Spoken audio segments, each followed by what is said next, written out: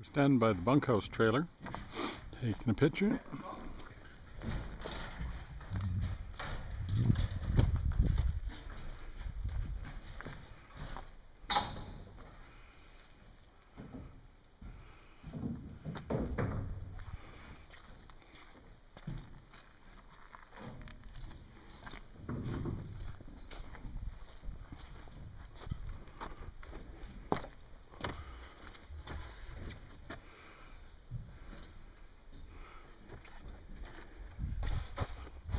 There's a man on the scaffolding.